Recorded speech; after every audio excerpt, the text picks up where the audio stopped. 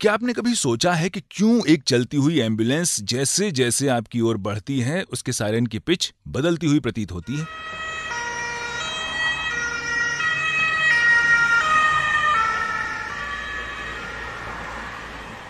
वास्तव में सायरन की पिच में कोई परिवर्तन नहीं होता। आप जो अनुभव करते हैं, वो एक परसीव्ड साउंड शिफ्ट है, जिसे डॉपलर इफ़ेक्ट के नाम से जाना जाता है।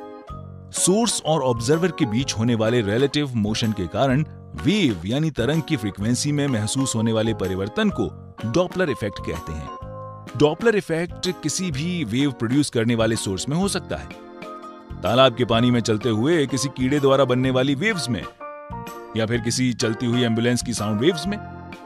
जब कोई वेव प्रोड्यूस करने वाला ऑब्जेक्ट किसी फिक्स्ड पॉइंट या ऑब्जर्वर की तरफ़ आता है या उससे दूर जाता है तो डॉपलर इफ़ेक्ट देखने को मिलता है। ऑब्जेक्ट के सामने वाली वेव्स कंप्रेस हो जाती हैं और उसके पीछे की वेव्स फैल जाती हैं।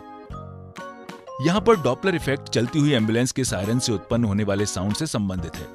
रुकी हुई एंबुलेंस के सायरन की पिच स्थिर होती है। इस समय सायरन की साउंड वेव्स सभी तरफ़ एक समान है। जब एंबुलेंस आगे बढ़ती है, तब भी यूनिफॉर्म साउंड वेव्स प्रोड्यूस करती है।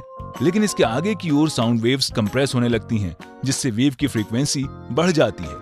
इसलिए किसी ऑब्जर्वर की ओर आती हुई एंबुलेंस के सायरन की साउंड उसे हाई पिच पर सुनाई देगी। जैसे ही एंबुलेंस पास से होकर दूर जाती है तो सायरन की साउंड वेव्स फैलने लगती हैं। इस तरह वेव्स की फ्रीक्वेंसी कम हो जाती है और ऑब्जर्वर को उसकी आवाज़ पहले के मुकाबले एक लोअर पिच पर सुनाई देती है। तो यही वजह है जब एक एंबुलेंस किसी ऑब्जर्वर के पास आकर दूर जाती है तो उसे सायरन की साउंड की पिच हाई से लो होती हुई सुनाई देती है।